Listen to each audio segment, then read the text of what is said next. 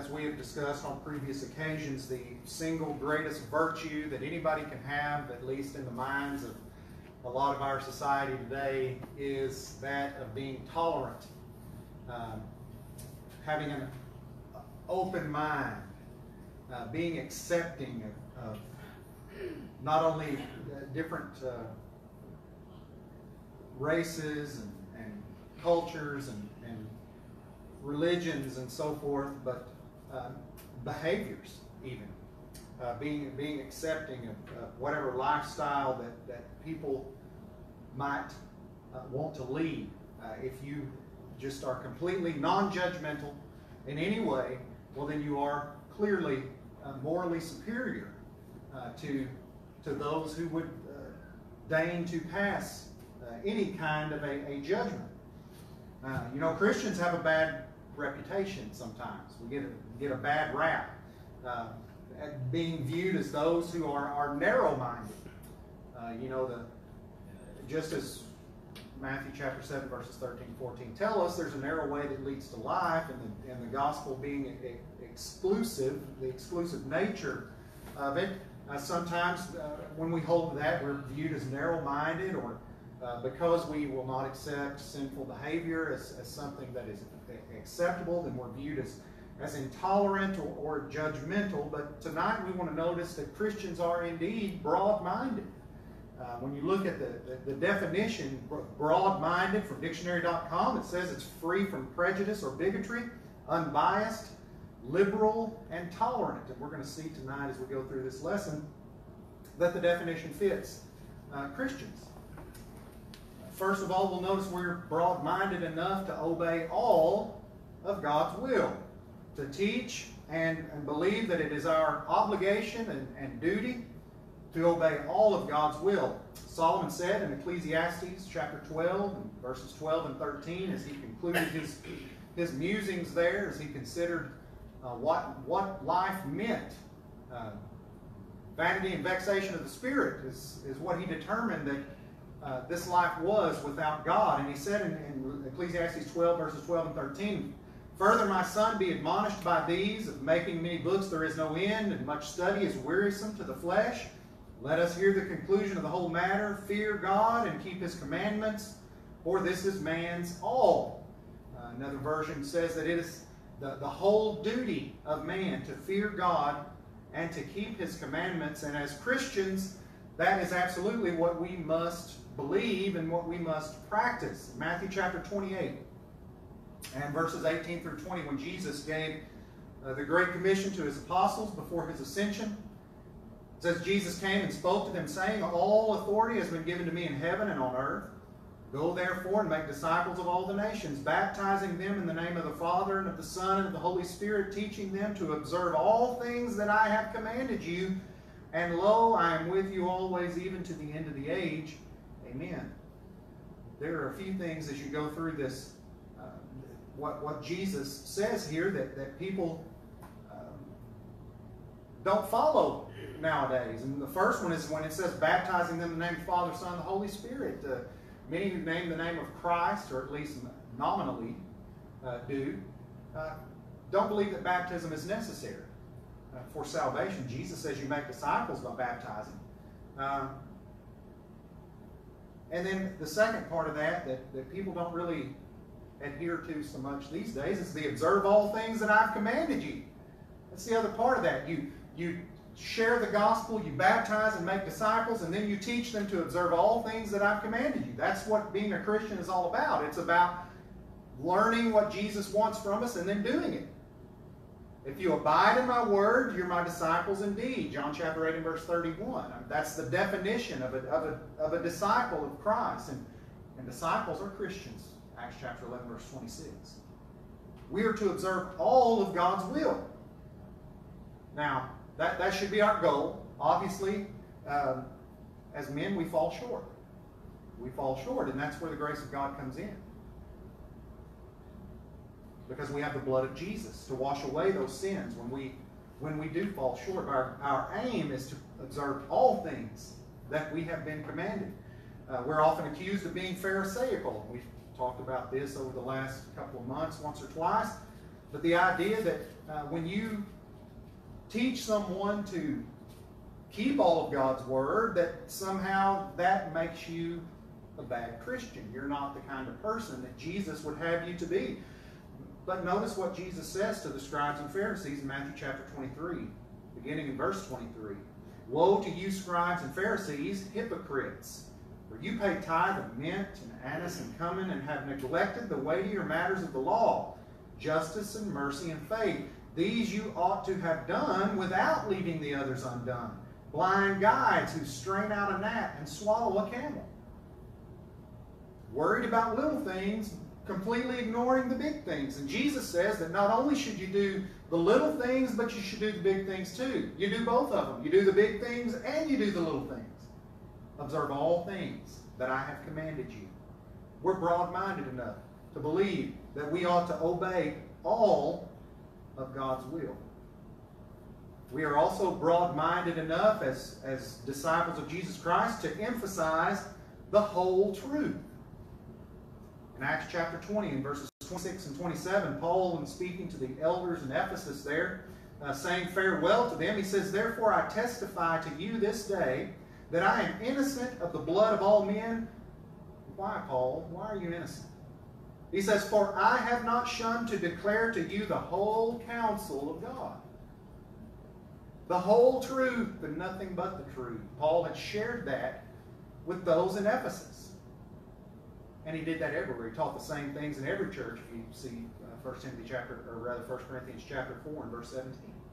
He taught the same things everywhere. He shared the whole truth wherever he went. I have not shunned to declare to you the whole counsel of God, and therefore he was innocent of the blood of all men. We need to emphasize the whole truth. You know, John wrote in Revelation 22, verses 18 and 19, he said, For I testify to everyone who hears the words of the prophecy of this book, if anyone adds to these things, God will add to him the plagues that are written in this book. And if anyone takes away from the words of the book of this prophecy, God shall take away from his part, to take away his part from the book of life, from the holy city, and from the things which are written in this book. We're not to take away from God's word, and we're not to add to God's word. We're to take God's word. And the context here, this is specifically having to do with the words of the prophecy there in Revelation. But it's a principle that is found throughout the Word of God. Deuteronomy chapter 4 and verse 2. Moses told the Israelites, don't add to and don't take away from the law so that you can keep it. Proverbs 30 and verse 5. Don't add to the Lord's words lest you be found a liar. You don't change the Word of God. You emphasize the whole truth, all of it. Don't take away from it. Don't, don't add to it. The Scriptures provide everything that is necessary for us to, to be fully equipped for every good work. 2 Timothy chapter 3 and verse 17. The Scriptures contain all things that pertain to life and godliness. 2 Peter chapter 1 and verse 3. So if you add to that, you, you have too much. And if you take away from it, you, you don't have it all. Emphasize the whole truth. And so uh, as we consider some of the things that get taught and, and what passes for Christianity today, we see that, that uh, the whole truth is not emphasized. Uh, those that take verses that say that faith is necessary for salvation and, and then uh, ignore the rest of the verses that talk about how it is that we ought to live in order to uh, obtain uh, the righteousness that is through faith. We have to be not only God so loved the world that he gave his only begotten Son, that whosoever believeth in him should not perish but have everlasting life. But if you turn over there to John chapter 3,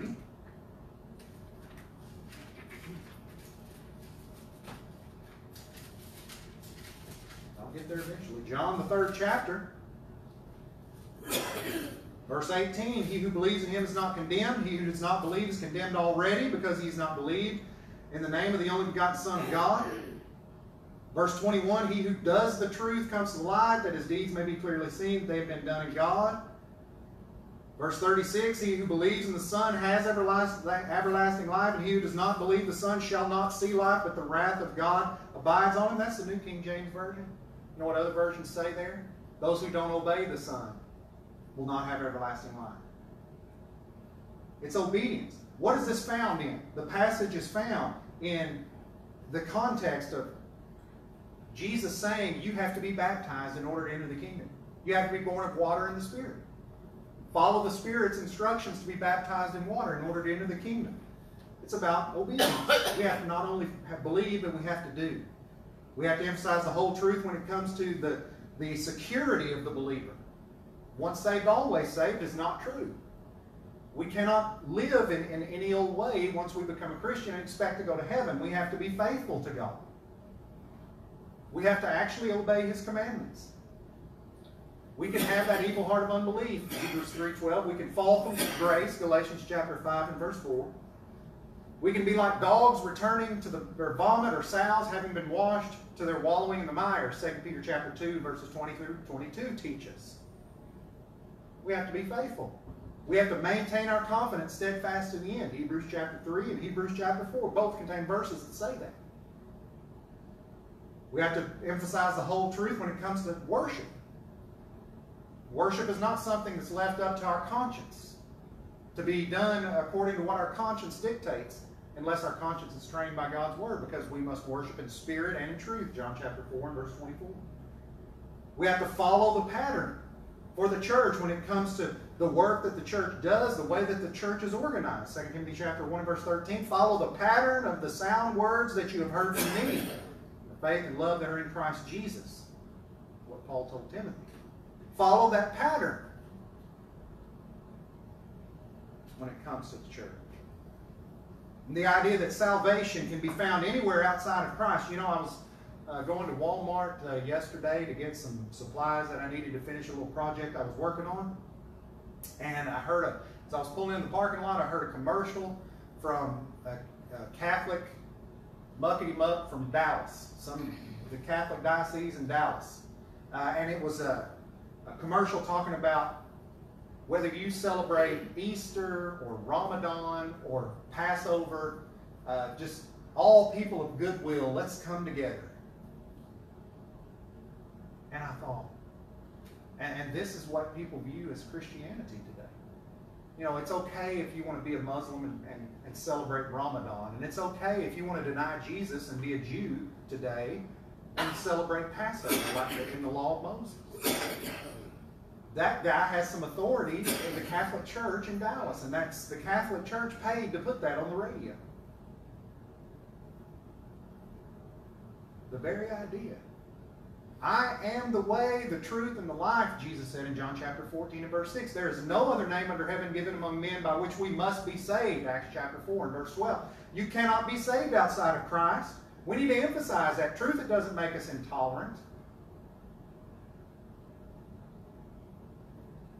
We are broad minded enough as, as Christians to respect all persons. James chapter 2. Turn with me to James, the second chapter. James chapter 2, beginning in verse 1. My brethren, do not hold the faith of our Lord Jesus Christ, the Lord of glory, with partiality. For if there should come into your assembly a man with gold rings and fine apparel, and there should also come in a poor man in filthy clothes, and you pay attention to the one wearing the fine clothes and say to him, You sit here in a good place, and say to the poor man, You stand there, or sit here at my footstool, have you not shown partiality among yourselves and become judges with evil thoughts? Listen, my beloved brethren, has God not chosen the poor of this world to be rich in faith and heirs of the kingdom which he promised to those who love him? But you have dishonored the poor man. Do not the rich oppress you and drag you into the courts? Do they not blaspheme that noble name by which you are called? If you really fulfill the royal law according to the scripture, you shall love your neighbors yourself, you do well. But if you show partiality, you commit sin and are convicted by the law as transgressors. Showing partiality to rich people over poor people. We don't do that. As Christians, we're commanded not to do that. God has chosen the poor of this world, we're told. So we're not, we don't show partiality in that regard. Acts chapter 10, verses 34 and 35, Peter opened his mouth and said, In truth, I perceive that God shows no partiality. But in every nation, whoever fears him and works righteousness is accepted by him. It doesn't matter what race you are. Acts chapter 17 teaches us that of one blood God has made us all. Of one blood. There is no, uh, there should be no prejudice based upon uh, what color our skin is or where we're from. Because we're all from the same blood. And God shows no partiality. Whoever fears him and works righteousness is accepted by him. And we are respectful of enough of people to teach everybody that they have to repent of their sins.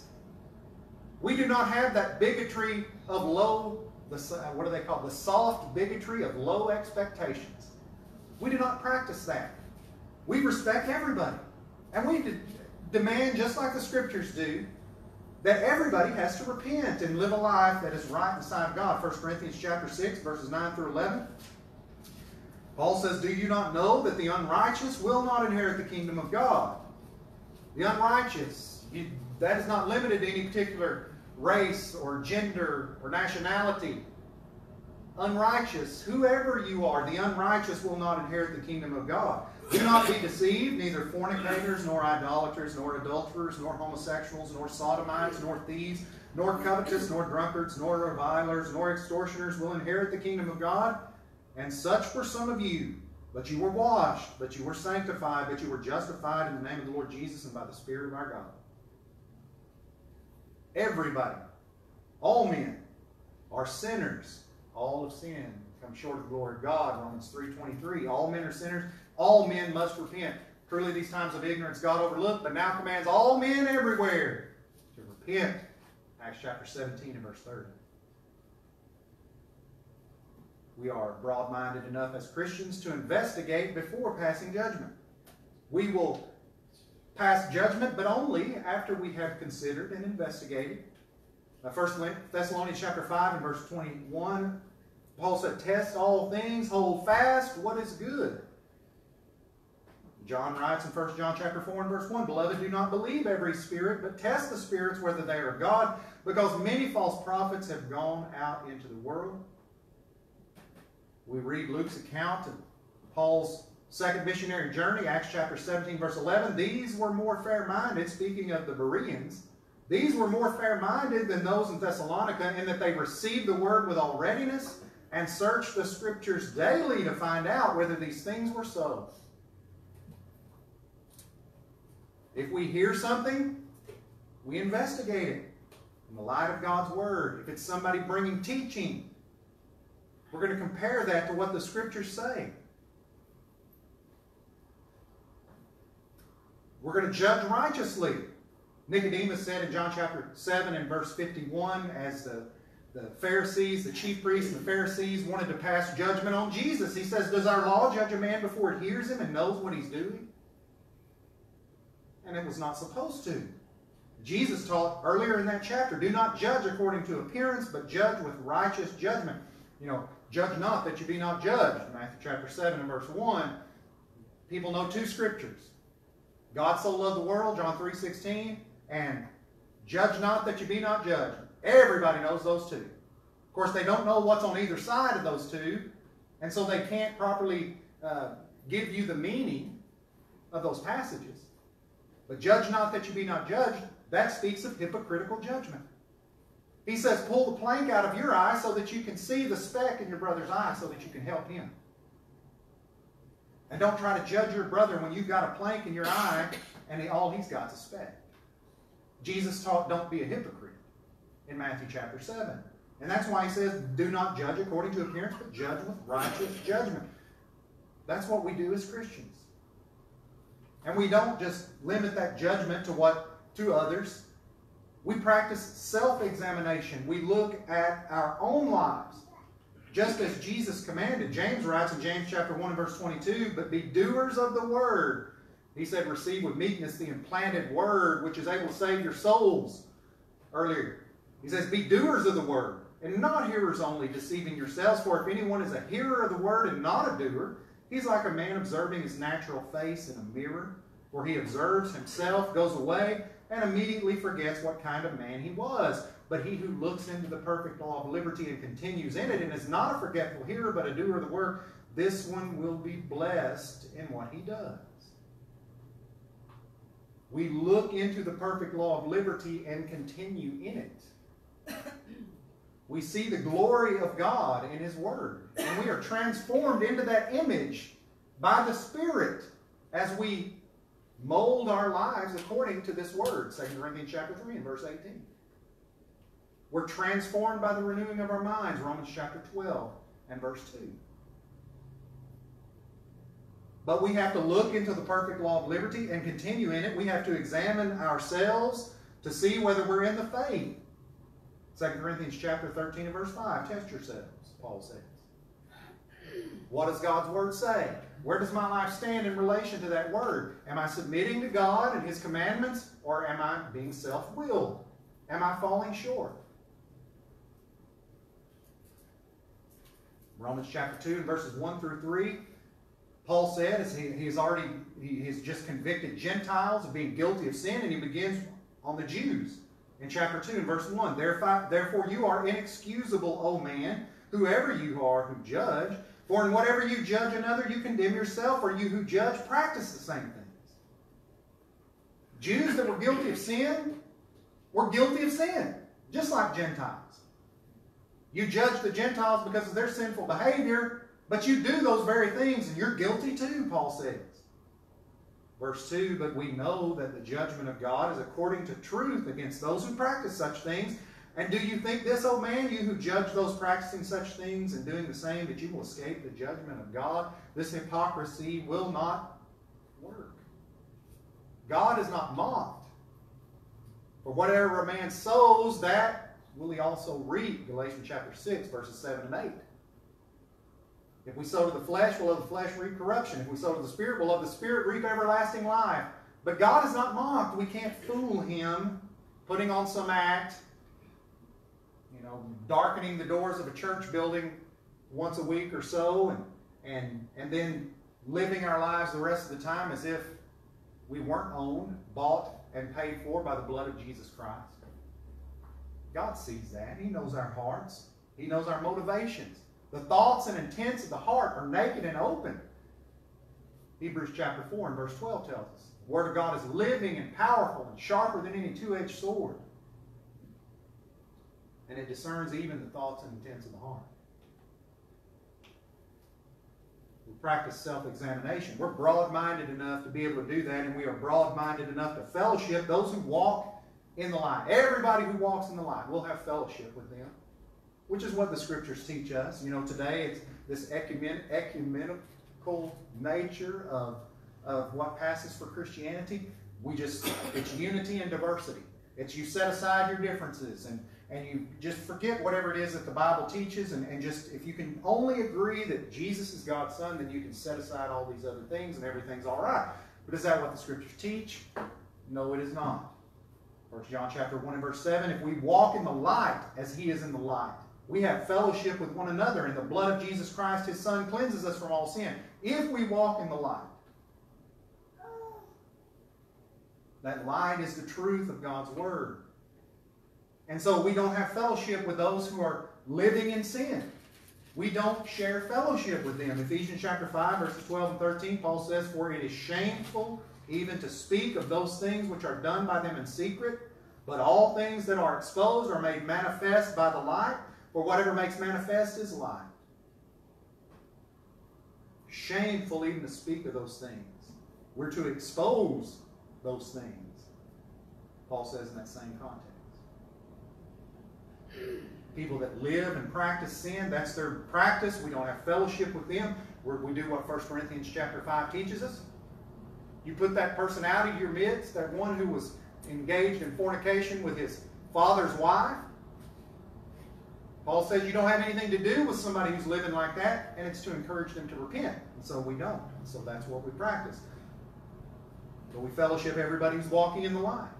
But we don't fellowship those who are teaching false doctrine. 2 John verses 9 through 11. Whoever transgresses and does not abide in the doctrine of Christ does not have God. He who abides in the doctrine of Christ has both the Father and the Son.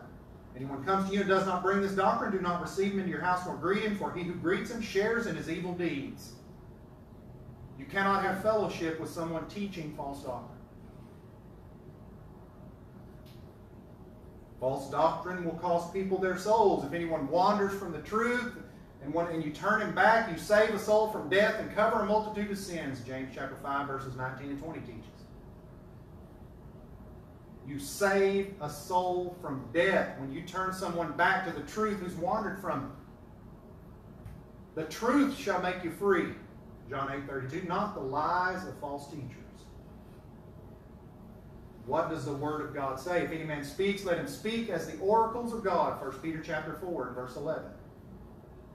Those are the ones we have fellowship with. Those who speak as the oracles of God. Those who walk in the light as He is in the light. We're broad minded enough to fellowship all those folks. There are limits. There are limits to how broad minded we can be because we cannot change what the Word of God teaches. We must obey all of God's will. We must emphasize the whole truth. We must respect all people equally. We have to investigate before passing judgment, practice self examination, and fellowship all those who walk in the line. And that's our lesson for this evening. If you're here tonight and you've never obeyed the gospel, I encourage you to do that. Because God loves you. God doesn't want anyone to perish. The Lord is not slack concerning his promise, as some count slackness, but is long suffering toward us, not willing that any should perish, but that all should come to repentance. That's God's will. He wants everybody to come to repentance, and the grace of God that brings salvation has appeared to all men, teaching us that denying ungodliness and worldly lust, we should live soberly, righteously, and godly in the present age. God's grace has appeared to all men. Everyone has the same access to that grace through Jesus Christ, his Son. Believe in it. That he is God's Son and that God raised him from the dead. Repent of your sins, which means change your mind and change your life. Confess him before men. Be baptized in water in obedience to his command that you might be saved, that you might access the blood that he shed to wash away your sins you've never done it, do it this evening. And if you're here and you're a child of God and your life has not been in keeping with His will, if you've not maintained your confidence steadfast, then repent.